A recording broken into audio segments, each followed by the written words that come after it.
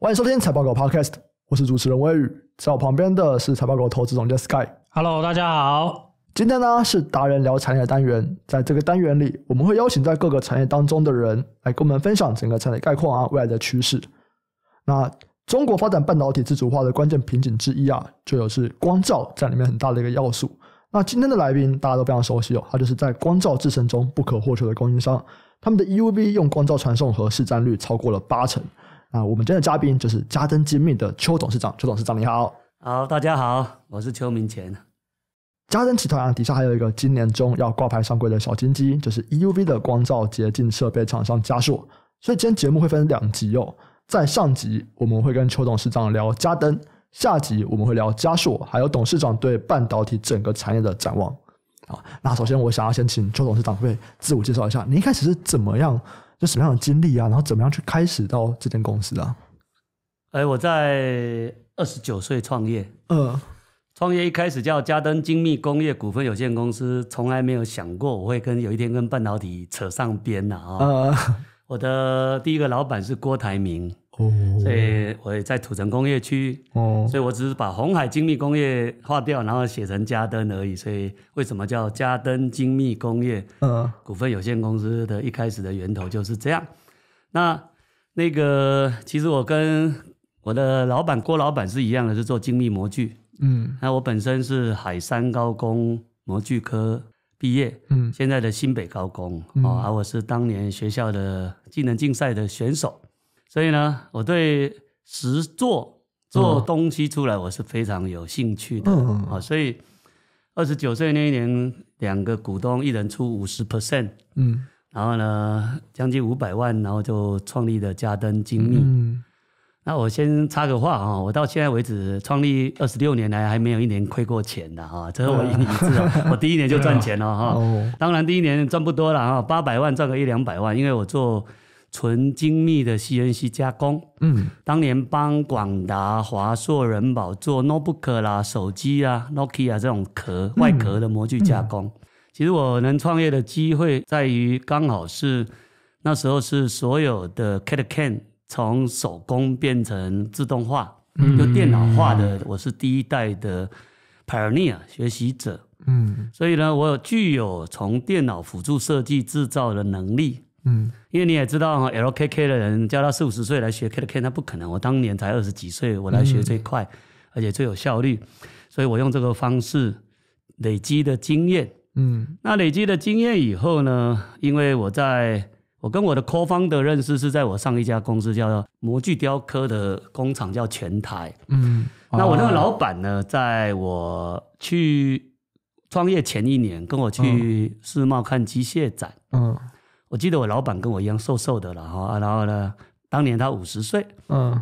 那我老板呢跟我去世贸看展览以后呢，逛了一两个钟头以后，他突然说他头晕呐、接下来呢就晕倒了啦，然后心肌梗塞啦，然后我他那天我老板娘也有来，还有我另外师傅有来，嗯。我们四个人呢带他去仁爱医院急救，嗯我就看他急救嘣嘣嘣嘣嘣嘣嘣，嗯，然后呢，最后是我呃护送我老板去太平间，啊。这样，那我我老板娘在旁边哭的要死的啊，所以他这件事情让我非常非常的 shock。为什么？因为我老板是个非常勤奋而努力的人，然后呢，他在乡下，我记得他跟我讲，他住那个南投的乡下，嗯。所以他一无所有来台北学了功夫，当了老板，所以他一年四季三百六十五天都在上班。嗯。所以呢，我都觉得哈，这样一个勤奋的老板，就在突然之间被老老天爷给把他带走了，嗯。不让他继续工作了啦。嗯。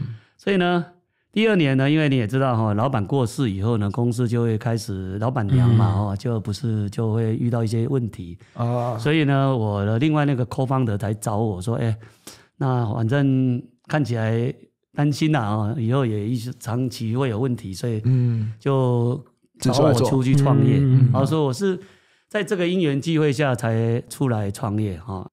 那时候有什么跟郭董联系上的？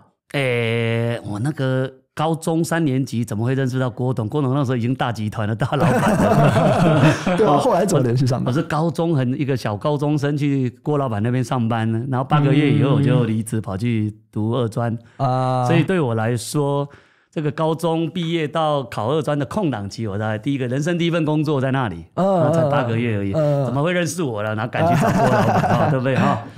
那因为这样子呢，所以我创业的原因呢，就是在这里。啊，那我一开始也做 CAD CAM 加工，嗯，也就是说帮人家做模具精密加工。对，那因为我是年轻的一代，所以我对电脑辅助设计、电脑很厉害，啊，所以我才有机会嗯在新的领域创业。嗯，所以我叫嘉登精密工业，跟半导体完全无关。对。可是呢，我刚创业的时候呢，我跟员工说，我以后希望能挂牌上市。嗯我记得印象最深刻哈，我有一个当时候的新的客户嗯啊，他陈老板，啊他有一天来啊，啊，他很高兴，他说他那天买了华硕股票赚了多少多少。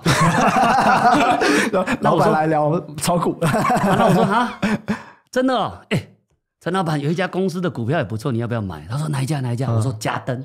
他说没听过，他说没听过嗯。我说啊，没听过，我们公司啊。呃他说啊，你们公司嗯，来陈老板十块钱就好哈、呃哦，十块钱你要多少？你跟我讲啊，我就让你入股。哦哦哦他说我入股要干嘛？我说 哇，我以后上市贵你会赚死啊！他说哈，你要干嘛？我说我要上市柜。他说你现在员工几个？我说两个。他说哈，你要上市柜，你上得了市柜的头剁给你。我晕倒了，被人家瞧不起了，真的是气死我了啊！所以我光开公司三个月我就要挂牌了啊，那是我的梦想。OK，好，嗯结果呢，我后来呢就开始给员工股票。嗯一开始我是 free，哦免费的，啊，用十块钱送员工一张、两张、三张啊，对不对？好，那我记得我里面有个原住民啊，嗯啊，因为我大概每一个月我会找个时间跟他们喝酒吃饭，啊就是去路边摊喝酒，因为才八个人、五个人嘛。嗯所以礼拜五下班时间，哎，来来来来来，老板找你们喝酒喝酒啊，啊，联络感情了啊嗯，所以我们就去喝酒。啊，那个原住民很喜欢喝酒嘛，啊，一喝必醉。啊，喝完了以后呢，他就跟我，老板啊，有件事情我跟你讲，你可能不太高兴哈，可是呢，我还是觉得应该要跟你讲。我说什么事？拜托，以后你不要再跟我们讲上市贵好不好？我说为什么？他说鬼才相信你会上市柜嘞。我说哇，员工也不行，员我说你你不是有股票吗？他说你那股票能干嘛？又不能吃，呃我不那我还你，因为我当时候是免费给他的。呃这样 OK 好。哦，你们这群人真是很神奇。我说我这样讲，你有爱到你吗？嗯嗯他说没有啊，可是我就听了很不爽啊。你明明做不到的事，一直在喜欢乱讲。我说你怎么会知道老板做不到？嗯哎、老板，我们现在才五个人而已，你要上什么四柜了？嗯我说哦，那你就以后我讲的时候，你耳朵捂起来没关系，我会继续讲。嗯这样好不好？我说啊，你要讲就随便你啊。结果这个原住民的员工，你知道，真的做到我上新贵，嗯 他做了大概十年后啊，我上新贵，嗯他已经累积了不知道，我记得他好像不知道几张了，我忘了哈，嗯二三十张还几张啊。然后呢，他当时候呢换算市值啊，因为我一上新贵没几天到七十几块了，嗯最高的时候，嗯然后他七三二十一，所以他快三十张哦，嗯嗯哦快三十张。然后呢，他跑来找我，嗯，他说：“老板，我想离职。”我说：“啊，为什么要离职？因为股票可以吃 了，可以吃饱了，新贵新贵可以买卖嘛，对不对？”呃他说：“老板，你不要生气，我要出去创业。”我说：“哦，很好，很好，很好。哦哦，我说：“你要创什么业？”因为他是台东那边的原住民嘛，那那他就说他要去台东的那个行动咖啡车，哦在海边的行动咖啡车。我说哦，那很好啊。嗯我说你怎么有钱？他说我有三十张了，我现在有两百一十万了，我够我创业了。我说啊，你有钱就要把它花掉，才挂牌没几天呢。嗯 然后说啊，去去去去去去，所以我就让他离职了，去创业了、三个月后，他跑回来说：“老板，我可不可以回来上班嗯？”我说：“为什么？”啊他说他的车子被偷了。我觉得他骗我了，应该是他把钱花光了要回来了。呃 啊，那就算了哈。所以我说，创业的故事很长啦，就是有一些人一开始都以为你在撒谎，嗯或者说你在开玩笑，嗯或者觉得哪有可能。嗯可是我才不会因为他讲没有可能，我就放弃嘛，因为总是要改变自己的人生，要订立目标嘛。啊，订立目标有时候再去思考，嗯什么事才有机会嘛，嗯对不对？嗯那现在的经济社会里面，我想创业才是自己摆脱。我是矿工的孩子哈，我我是爸爸是矿工啊，我是矿工的孩子，所以我要摆脱我自己宿命，唯一靠自己的能力。那当然，我一开始用专业创业，嗯那会去做半导体，这就有很特别了啊、原因是这样，我自己做 CNC 的传统加工，我自己有算过，以我的加工的时间、绩效跟能力，我在十年内我只会营业额越来越少。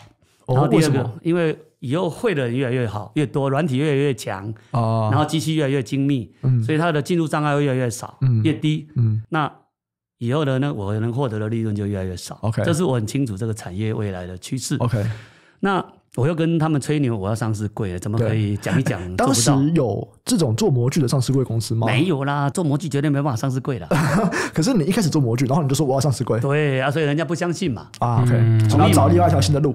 所以我才会说，我必须为了圆我自己跟人家的 commitment，就是我要上市柜，是是我要需要找到一个产业啊，产品足够大的 size，它是符合未来 future 的，嗯嗯，对吧？嗯不然我不是吹牛了吗？对，那有一天呢，我太太因为我太太是主动人，她在园区上班，嗯那她做什么我不知道，我做什么她也不知道，我们两个各做各的。嗯嗯那她是园区一家做光照护膜的 Pedicle 厂商的秘书。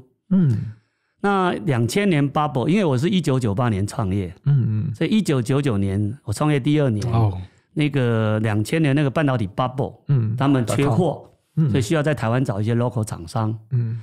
然后呢，有一天呢，我太太在帮有人来，有一个供应商到他们公司交一个样品，那要他要找他原来的人，那个工程师不在，嗯。所以我太太招待他，他就跟他聊，就他就跟他说啊，我们家有两台 CNC，嗯。我太太不知道我做什么，只知道我有三台 CNC，她心里想，哎、我老公有三台，嗯。啊，你这个找谁？啊、找谁？找谁？找谁？然后他就用这个，他说：“哎，我们公司要在台湾找 local 的厂商。嗯。然后呢，他就回来给我看，我说：“这个简单呐、啊，半导体的 Fred 没听过，嗯。什么叫光照？不晓得，什么叫 Pedicle 不晓得。啊，反正先做再说了啊、对对吧？嗯嗯嗯。那我就要做，哎，一做完了，我说一个礼拜给你 sample，结果我研发了一年才 OK，所以我后来成为他们家的供应商。”嗯。这样 OK，、嗯。所以我会做半导体，其实是 I never say no，、嗯，就是我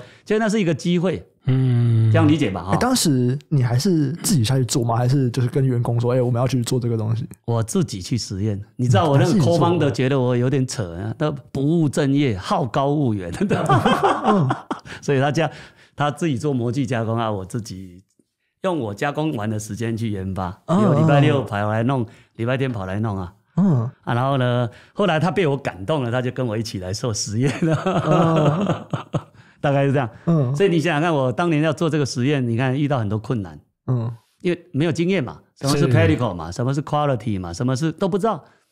可是我很清楚是说，如果我能做到这一块，我也许有机会找到一个 niche 的市场，在某个领域嗯成为这个 mass production 的一个、嗯一个产品线。嗯那是因为这个念头支撑着我继续做这件事情。嗯。可是看起来不错，就是这个从这里当成种子，对。我在光照领域就成为独霸的原嗯。原始点就在，因为那一个第一个 business 就在光照，嗯嗯每一个光照上面要有一个光照 pedicle 叫护膜，嗯这个护膜现在全世界只有五家啊，我太太的那时候的那家公司是其中一家的 leader，嗯。所以啊，他那个关键零件就是那个 friend，啊，那个 friend 呢需要精密的 CNC 加工，所以我用我的核心能力，在这样因缘际会的巧合下切入半导体，嗯那才从这个光照护膜这个开始做光照和光照，最后到 UV 这样。哎，那我们也来稍微讲一下，说现在嘉登的这个事业啊，主要的业务大概是哪一些啊？主要业务哈，嗯我来说明，因为有些可能知道嘉登光照、光照、光光照到底是什么，可能搞不清楚哈。嗯，那我因为你们现在年纪比较小的不知道底片啊，哦，知道啦，真的吗？知道啦，有看过底片吗？有啦，有啦，是用过的啦。有用过，有用过啊，那表示有一点小小的，还不是还不是够年轻了啊。OK，以前你去洗大头贴，你要先去拍一张底片，对，这张底片呢，你拿到手里里面以后呢，甚至有人会帮你修图哈，对不对？擦一擦哈。底，片也可以修哦，对，OK 底片可以修图啊，修复片呢？修还修复片，然后呢，修好了，它就会成为它的模板。对，其实，在半导体厂，这个就是光照，嗯理解吧？哈，那相子就是晶圆，嗯嗯，所以你知道以前在八寸时代最有名的曝光机的领导厂商叫尼康跟 Canon，、嗯为什么对？为什么跟照相机的是同一家厂商哦？对是为什么？是因为都是同一个原理，叫嗯影像微缩原理，嗯嗯这样 OK 嘛？哈、嗯到今天为止，那个富士啊，富士做材料感光材料的，是它是没有底片的，它转型做半导体的感光材料啊，嗯嗯，所以它是一个相关联的领域，是同样的概念。嗯比如说，你今天这一个底片，你可以洗一寸，也可以洗两寸，对可不可以？只要你那背距调一调就好了。对对对对，所以半导体的各个光照就是底片。嗯请问这个光照底片从哪里来？从 IC Design House。嗯。所以今天联发科设计了一套什么天机多少的型号，嗯。那这个型号它就要交给台湾光照，台湾光照根据它的 IC 设计图做了一套一套的光照，嗯。然后一层一层曝光累积起来就是一个机体电路，嗯嗯。所以光照就是所有晶圆制造的母片，嗯，就是那个底片嘛，是。对不对？你总不能你拿你家的底片要拍出来变成洗出来像我的样子，不可能嘛，对对，对不对？所以每一颗光照都是独一无二的啊！这个 know how 的智慧财产权谁的？就是那些 IC design house 的，嗯对不对？IC design house 负责线路的 design 完了以后，他要把它生产的具体化，就是要交给台湾光照这个光照公司去把它变成底片。嗯啊，底片交给谁？交给台积电。啊、台积电把它放在艾斯摩尔的曝光机的上层，然后开始曝光，啊，下面做 wafer，啊，就啪啪啪啪啪啪啪，然后它就一点五寸的照片，你洗二十张就二十张，一千张就一千张嘛，对不对？嗯是所以光照如果良率是零，它所有良率就归零，对，因为就是等于说所有曝光出来的东西都坏掉对，的。都是坏掉。比如说我举例啊，你这个母片上面有一个黑字，对，你这么帅怎么有黑字呢？可是不小心被重弄了一个黑字以后，你那一片你的良率立刻零，所以光照的良率是一百跟零，嗯嗯理解意思吧？嗯是，所以光照一定要用到一百，剩下的良率才会出来。嗯，只要光照弄不好，就没有良率。嗯所以光照怎么 control，怎么保护，怎么储存，在方准代工厂领域是非常非常非常重要，因为它是一百跟零的概念，哎，我也蛮好奇的，那这样子，没有中间值哦。那这样子，你这个光照是不是也要去跟这些曝光机，就像爱斯摩尔，就要去说，哎，那你的规格长什么样子，我所以我才可以放进去吗？所有的规格在三十年前就定义好了。哦，真的都一对，那是一个标准的 standard，嗯啊嗯，这样不太变。不用变。里面图形怎么变，那是你去做的，哦，这样理解。所以尺寸、厚度、高度，通通是是固定的是是。公版，哦，这样理解了啊。嗯嗯哦，所以这个光照的长宽高都被有一定的限制啊。限制了。嗯嗯只是你在上面这一个 layer 里面去图形去做你的 design 跟嗯，设计，这样嗯理解吗？哈、嗯所以光照呢，它是有点类似说，它镀一层铬啦、木的金属层，嗯，那钼会光照下去，它就挡住了啊，其他把它蚀刻一个透光的，对对对对。是有照到光了会变成对，那个反应正光组或负光组，对。啊，最后呢，有些是正光组，是负光组，然后它洗掉不洗掉，然后它就线路就出来，才能做扩散蚀刻什么这样后续制成。所以嗯。光照的良率是一百，嗯。你后面可能有一张有几张 wafer 会良率会差一点，嗯。理解了啊？嗯。那嘉登会出现的最大原因是因为代工是台湾出现的，嗯所以半导体产业里面 IDM 跟 Foundry 嗯。最大的差别是在 IDM 里工厂里面，光照不会常常换来换去，因为它是一个标准 mass production 的一个产品，所以它有时候这个光照一进去一放一铺就可能半个月一个月，嗯，理解吧？嗯。可是呢，方准不是啊，这一个今天上去可能嗯一天就下来，再上去，再一天再下来，它一直在换来换去，所以它必须累积足够光照的交换、储存、保护的机制，让它不会有任何 particle for risk。嗯。啊，这个是要他做了二十年代工才能累积出来的经验。嗯。光照的良率零跟一百嘛，嗯。它没有中间值嘛，嗯。所以你想想看，它做到第九十八层，有一层的光照，它拿进去一放，嗯。结果呢，因为它上一次没有弄好，所以 risk particle 进去他也没有查到，嗯，哎，有一层不通就通通不通的啦。早早就坏掉了嘛，全部都坏了啊。所以为什么哦台湾这么厉害的原因，是因为我们这家灯跟家灯相关这种供应链去配合大客户来的保护储存光照里面，我们给到一些很特殊的 solution。嗯 make sure 它在机器里面都没问题，大家 everybody 都一样。嗯可是出来再进去，出来再进去，出来再进去，这种次数多，它会增加它的 risk。嗯啊，我们能降低这个 risk 的价值啊。哦，诶那所以家在做这件事情怎么不跟你们买？哎，他不是只有跟我买这个而已啊，他还要其他整个管理的机制啊、检查的机制啊、嗯确认的机制啊。这不是只有我就可以让它一而变好啊，那是一个一连串的 solution 哦，嗯嗯嗯理解意思吧？啊，OK，就其实大家都有每一个过程中其实都有要做的事情。这个东西就是飞机飞在天空中都是安全的，飞机就是下降跟起飞是危险的嗯啊。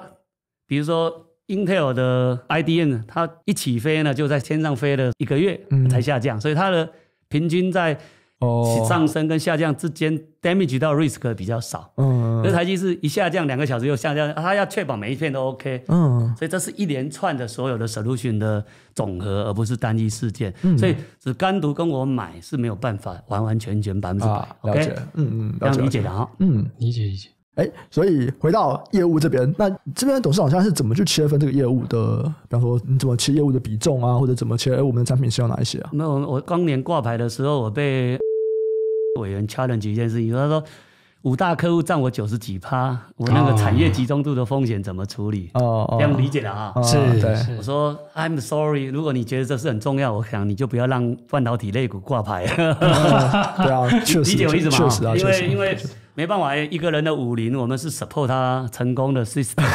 一个人的武林，对啊，他是一个人武林的，我们是我们是 support 他成功的 system 嘛。呃，所以他成功，我们也跟着成功啊！我也很同意啊。他如果万一有一些什么 risk，我们也会跟着有 risk，这是一体的。嗯可是问题是他以他现在跟我们跟他一起培养他成长，他未来的整个那个竞争力，我认为他是很有那个价值的嘛。哦，是是啊，真的没办法是一个人武林，嗯啊，对吧？啊对对 真的是一个哎人武林。那在这边目前做这些光照盒的厂商大概有多少啊？全球的话然后就我跟告我那家美国厂商是主要，，OK，所以就是基本上就是两大那龙头竞争有有有一。些台湾也有一家，好像试着要跟我一起竞争，不过他应该还没有啦，还没有机会。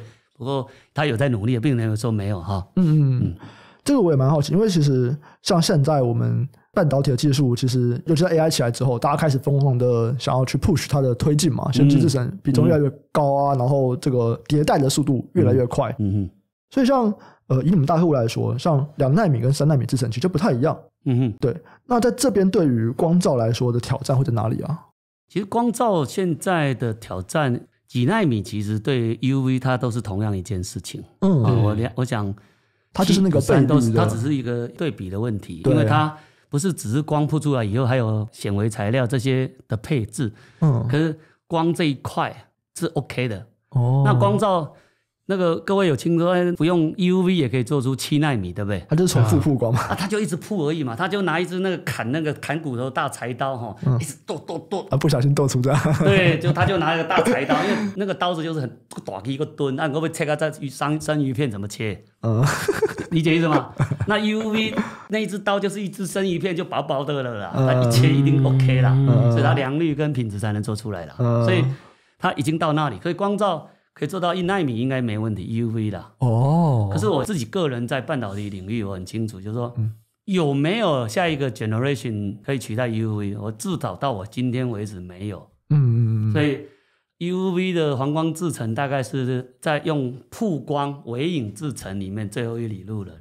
嗯啊，这样 OK 吗？嗯，所以要靠微缩，把更多 IC 放在同一层面积的晶元素上面，这条路大概已经走到快底了。可是下一个就是那盖高楼大厦嘛，啊，就是圣地本来以前都是盖平房。对。啊，尽量把房间数越挤越多，对，这叫 UV，对不对？嗯，现在未来那不用嘛，一样就是三 D 封装啊，三 D 封装。所以如果你问，我要堆叠三 D 封装的技术，才是下一个推动整个要往高阶运算跟那个单一晶片的集成精密度要经历变高的一个、嗯需要走的路了。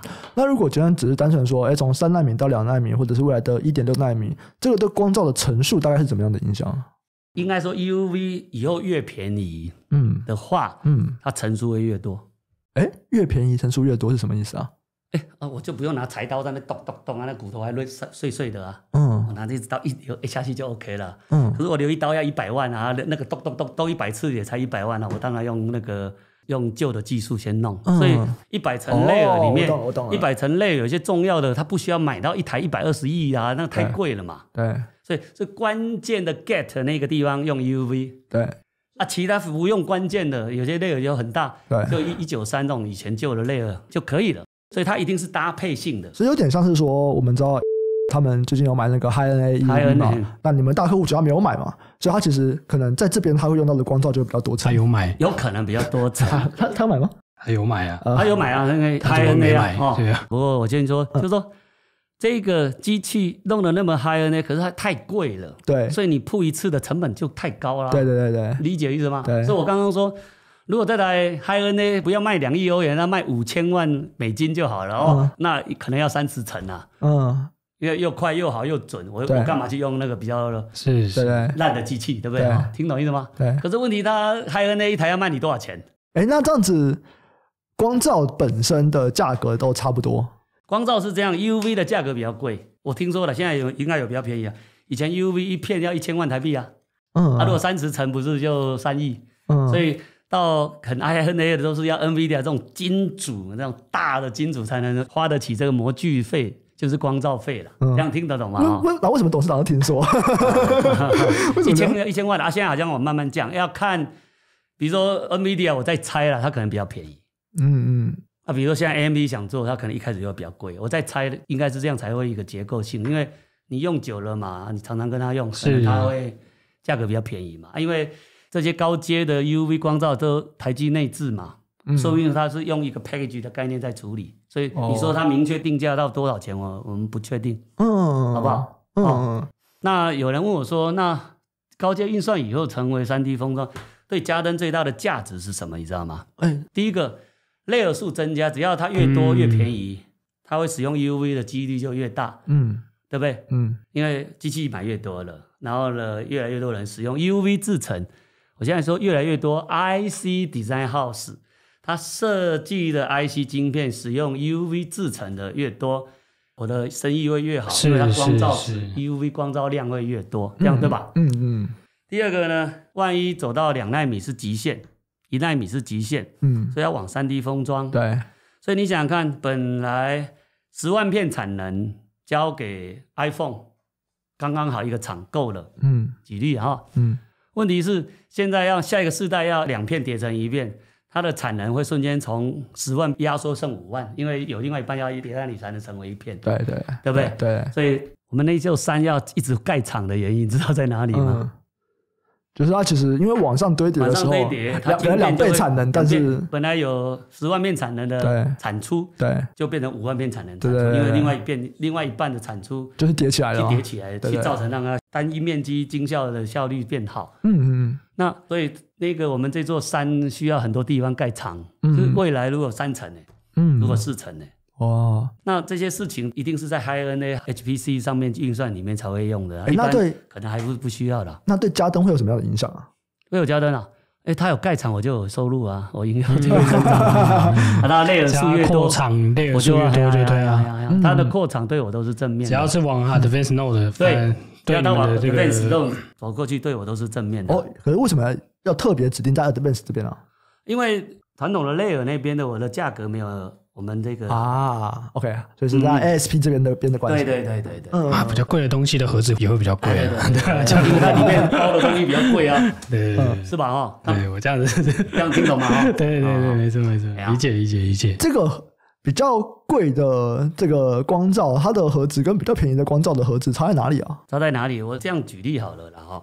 比较便宜的光照呢，刚刚提到头骨哈，它身上弄脏脏的没关系，还可以用，还可以允许。是是，嗯那高阶光照嗯就好像我那个盒子就有点像阿姆斯壮登陆月球。嗯你要知道哈，那个不小心刮破那个那个太空衣，它就挂了。哦所有的 UV 一到现在 normal 的环境，一打开它就立刻就，炸了，嗯，报废哦。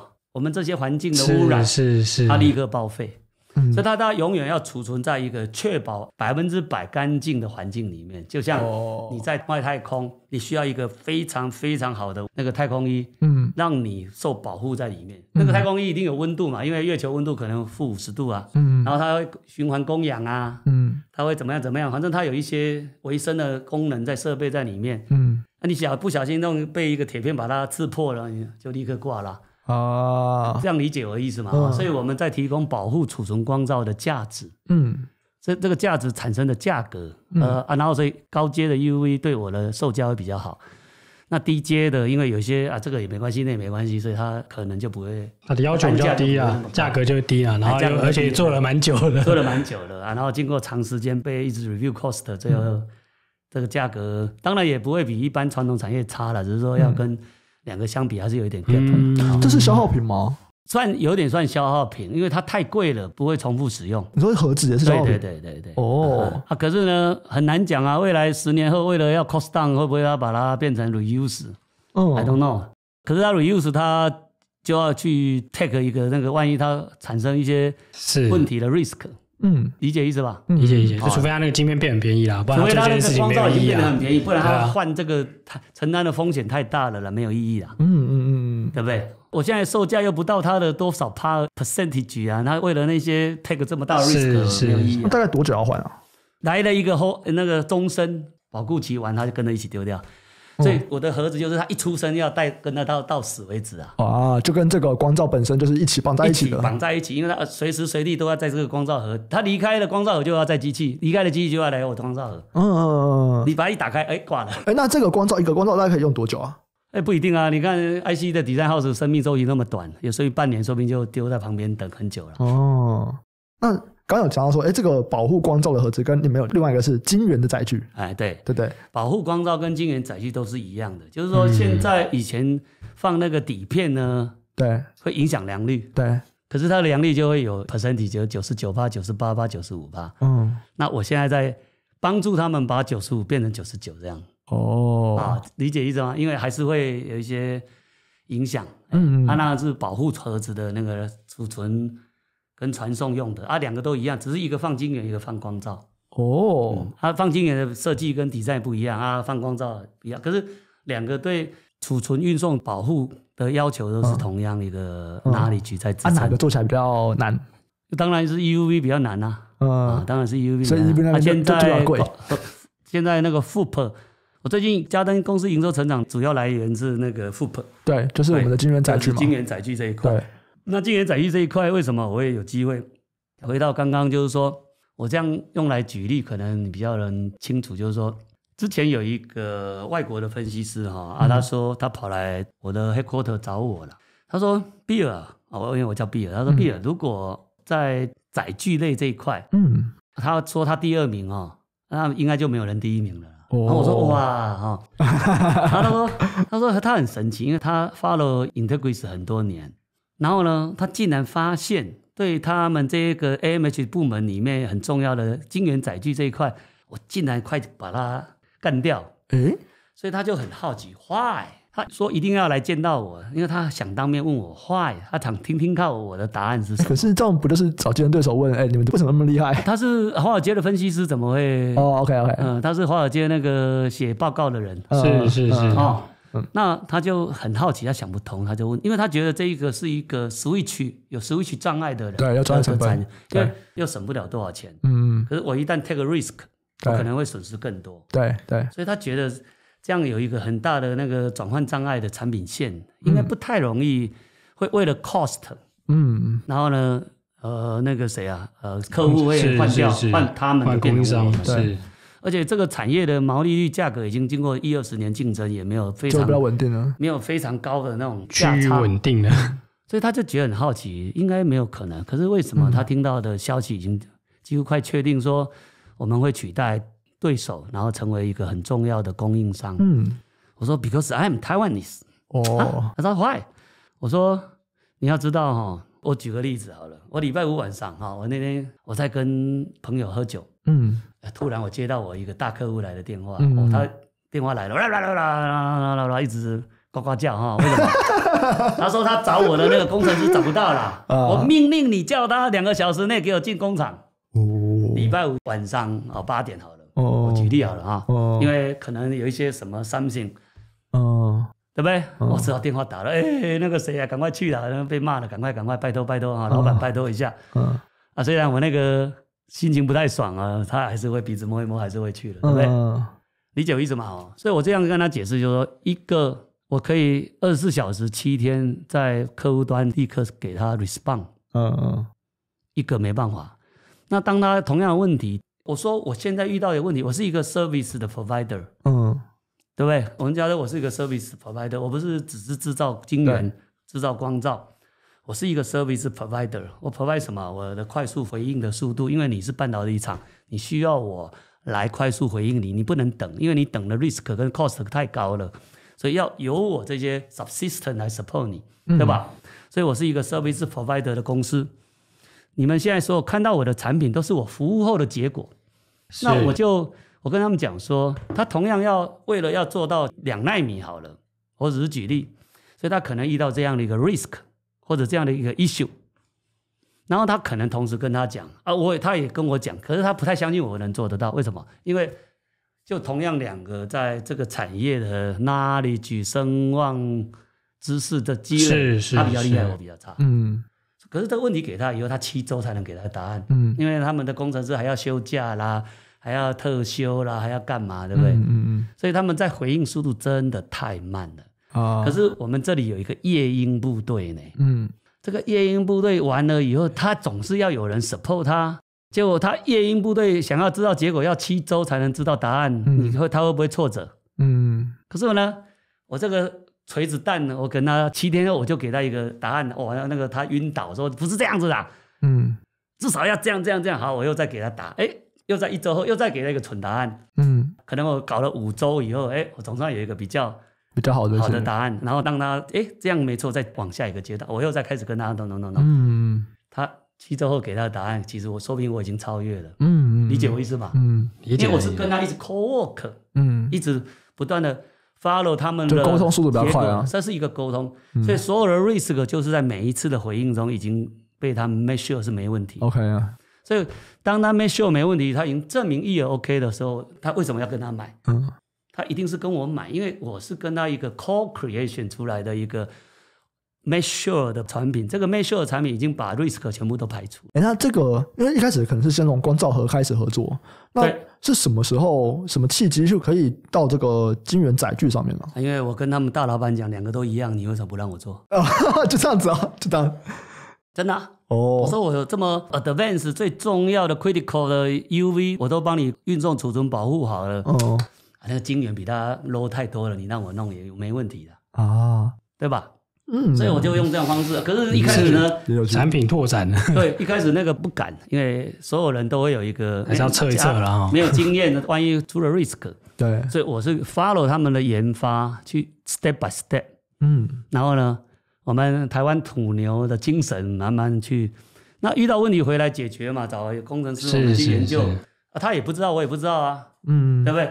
也许我的 competitor 知道啊，可是他要要七周后才能给他答案啊。是是是啊，我虽然不知道，可是我每次的回应跟学习，我这种快速、弹性跟效率，这也是我们最后能成为世界第一的核心，不是吗？嗯嗯所以我是陪着他们一起 step by step 嗯走到这里来啊，所以他自然到最后，因为我的 follow 的效率跟速度，可以让他怎么样，真正面临问题的解决，得到实质的答案。我说这样哪有什么 risk？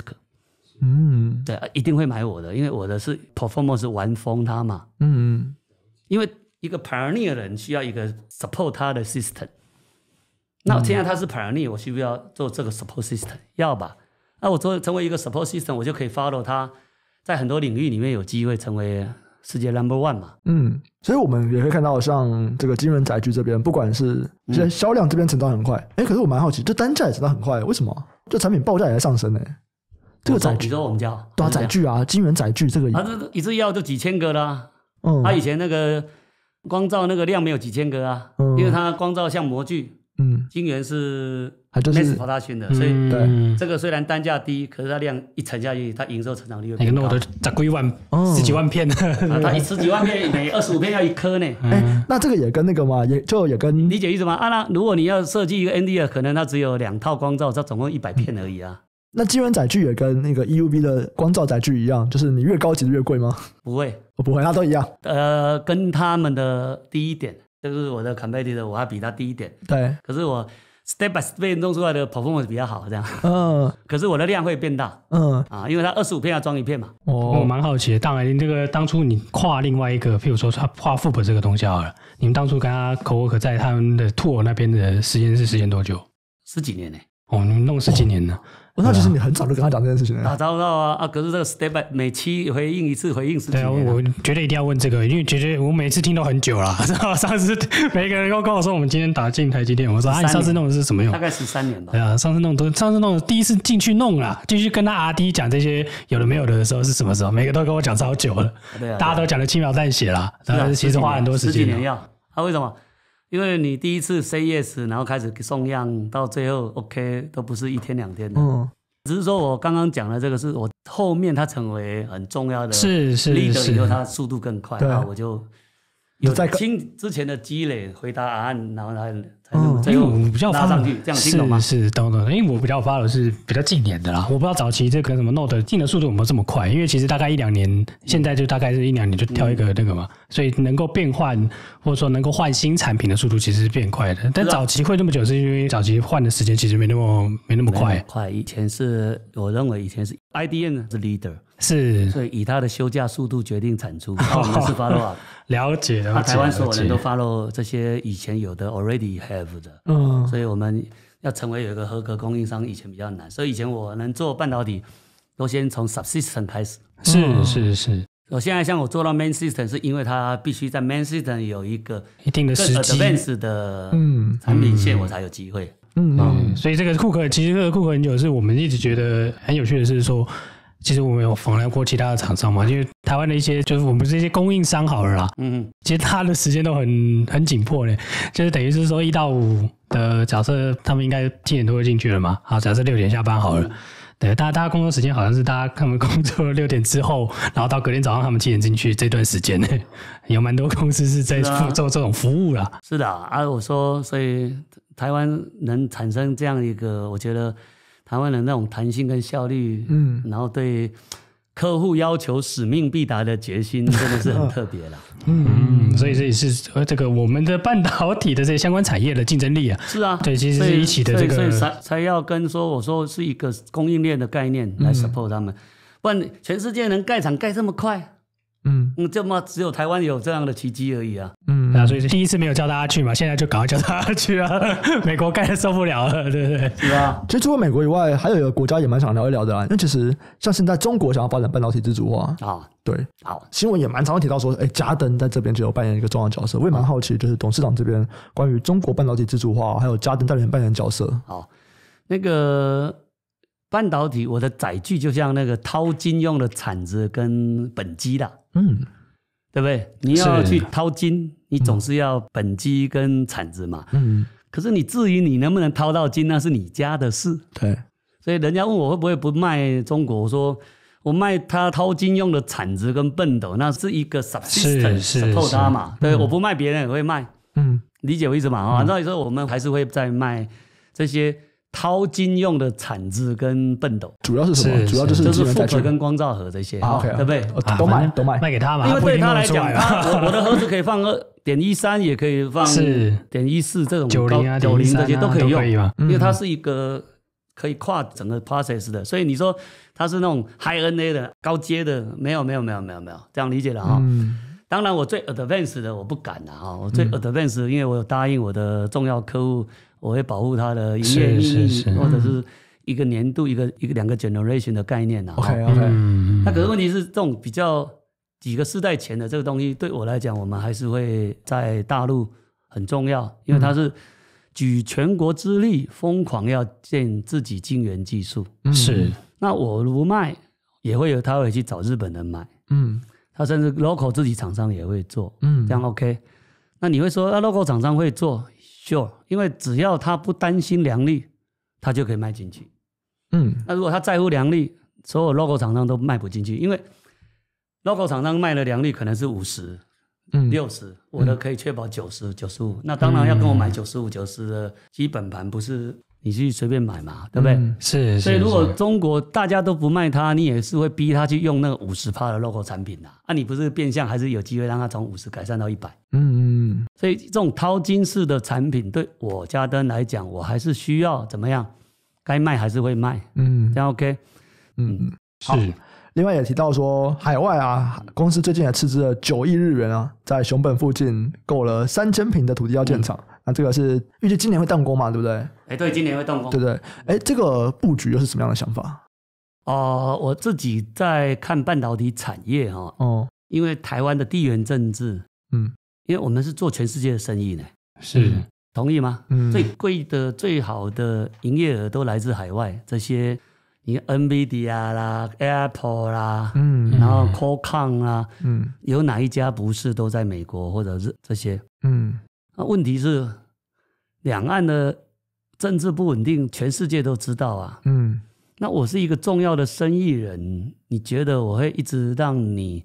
我担心的风险长期存在，所以对我来看，嗯大客户来的海外设厂这件事情，不是他愿意跟不愿意，而是他一定要做的事。嗯嗯那也因为他在这边积累出了 know how，只有他去海外才能把那个顺利量产，对，理解意思吧？哈，是因为这些不管是政治或经济或客户端的力量，他一定会逼他怎么样，就要分散。在台湾之外嗯，有一个让他可信任的产能。而且其实也不一定要在美国，哎我觉得就在日本，啊，为什么？因为他去东南亚没有用，啊他也不可能去韩国啊，哦，嗯，有道理吧？是他去韩国，万一被啦啦啦啦啦，你所以他怎么可能会选择韩国？对不对？韩国也有别的问题，对，对呀、所以在不得已的选择，可是，在台湾之外一定要有选择。我觉得啦，没有地方了啦，就日本了啦。嗯嗯，至少日本熊本厂的速度比美国快多了吧？对，而且日本看起来政府比较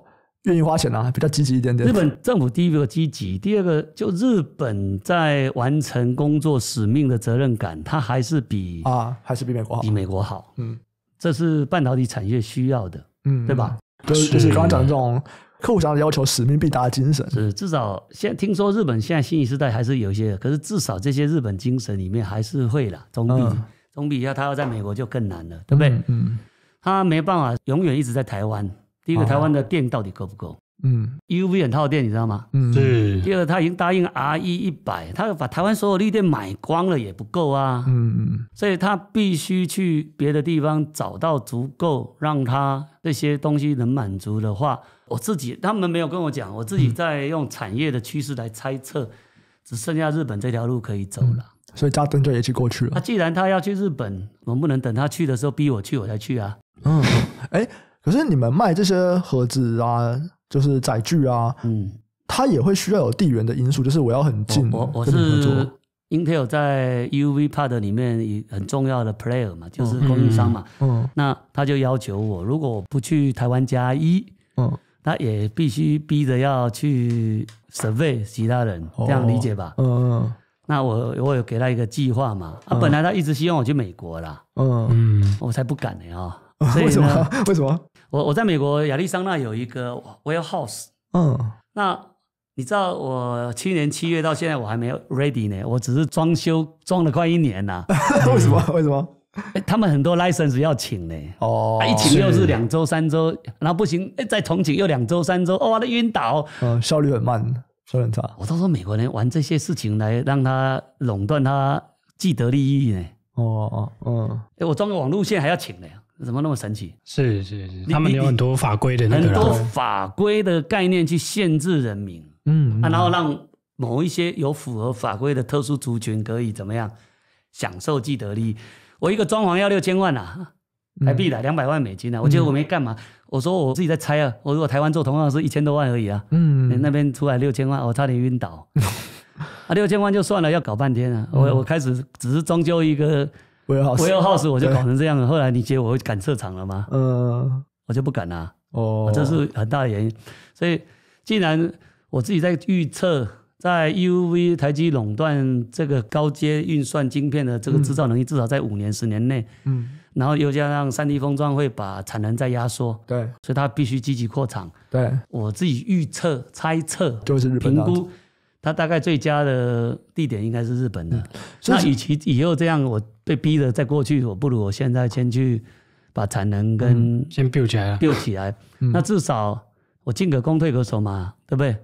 因为进可攻就是说，万一这边大幅的扩充产能，我就立刻可以用了，对对不对？是啊，因为我那个也不是很大的，两千多平，它真正能盖好，我大概只会盖大概不到一千五百平。嗯，那这个对我来讲也只是个 warehouse 等级的工厂而已。哦哦，那我至少未来在进至可攻退可至少也进了个台湾 Plus One 的 One 了嘛。是啊，我也可以跟我的客户交代说，我有试图在台湾以外让你放心呐、对。因为我现在做的也是 global 的生意啊，对啊对啊对啊，啊，我是做 global 的生意，所以我必须思考从客户端他会不想用我的理由是什么。如果这两岸的地缘政治风险是他们在乎的，嗯。我总是要让他安心嘛，嗯嗯，大概是这个原因，所以我先布局在日本。所以其实像大客户，他可能在美国、在德国也有扩张，这个就不一定会去了。反正我们的 Plus One 就先选日本。对对对对，嗯对对对，哦，其实听起来还蛮 make sense 啊，因为其实至少我员工叫他去日本，他愿意啊，对啊，对对对，还开心的。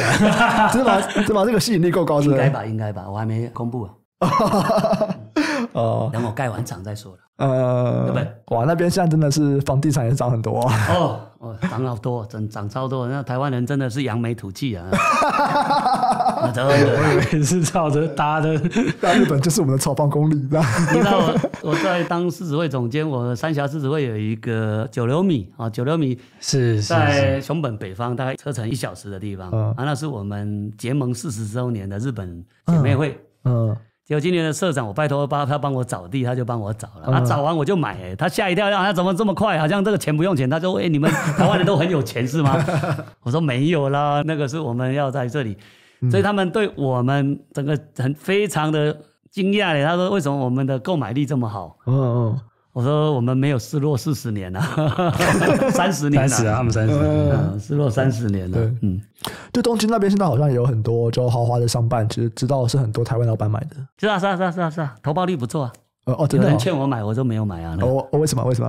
啊，积不搞啊，那 钱不够了，没有了。谦虚了，谦虚，就就 那个还好了，那还没想到那里去啊。嗯，好，现在还有什么想要针对家灯的问题吗？哎有啊，我其实蛮好奇的，那个董事长当初我们其实做 CNC 起家的嘛，嗯，其实一我记得我那时候我可能在这个市场还不够久吧，我记得一六年、一五、一六年的时候，那时候有个金属机壳的，就是那个算是大家哎蛮疯狂在这个东西的啦。我记得是应该是对啊，可成啊，然后甚至是以前的印华嘛，现在叫能率嘛。那时候大家算是这样算的啦。我记得我那时候写过一个报告，嗯我们那时候算就是说，哎呀，你有几台先 C，然后一天可以赚多少钱，可以做几只 iPhone 就可以算这样。为什么当初没有这个 被这个东西所吸引的呢？哦，人生很神奇哈。嗯，其实我在一开始接触半导体那个 friend 的时候呢，当时候两兆双星嘛，另外一兆是什么？是是是，那个面板啊面板，面板面板也有一个载具呢，啊是是是。要，放那个玻璃的算玻璃的那个传送的那传送的一个，个载具，它是一个一个框铁框加 pick，我都有能力做。嗯，可是我当时候同时遇到两个，一个做大，一个做小。啊，小就是手机的那个。没有小就是我现在啊，现在小就是光这个对就是光光照照嘛，光照光对？吧？对，啊，我当时候手上员工十个，嗯。然后呢，我遇到两个来自于两兆双星嗯，的机会，对，我这个傻老板要做选择，嗯，我没有两个都做，我拒绝了大的。大的，我选择小的，为什么？因为我觉得小的要越做越精密，比较有挑战性。所以是你的一开始这个模具选手的执着，我是选手哎、哎我当然要做厉害的。做最重要、最精密、最有挑战性的。嗯，是是。哇。可是我现在回来，哎，我当年做对决定呢，哎、对对对，没错吧？当然当然当然当然，没错吧？啊、啊，是，所以有时候候做精密加工，我觉得我每次在跟人家做辅导，我说弱水三千，你要取一瓢饮啊，你不要老是嗯这里也想做，那里也想做，你的时间跟能力跟资源有限，你要毕其功于一役，在每某个领域成为世界级的专家嘛哇。！可是我觉得这个想我光照是不是现在是世界级专家？我是呢。是，可我觉得这个想法很有趣，因为嗯有些人可能觉得说，哎、大的可能比较赚钱，或者哎大的就是我可以收比较贵，可是你就是说，哎，我是选手呢，啊，我当然是要选难做的做，对啊，对我找难做的做，对啊，后来没倒啊，你看，对啊，因为走大的可能倒了哈。多少天地很辛苦啊！多少天地有七地的供应商后来就挂了，多少都很辛苦了，对，辛苦。过去二十年非常辛苦啊！啊，对啊，是吧？我现在事后看，哎，我那董卓奇八字好，就是不是因为当时候聪明有策略选择，而是就是站在什么挑战，可是挑战性的东西，可是也没错嘛，所以你才有办法去跟大客户磨十几年做金元载具啊，是啊。是啊，磨十几年把它磨出来，真的是磨哎，十几年嘞。对啊，磨出来一招磨出来，营业额都都都都都都就一直要往上跑了啊，绑都绑不住这样。你们现在还是在持续在吃对方的市政吗？是是是是是，持续吃掉他，持续吃掉它，所以他很生气才会要一直告我。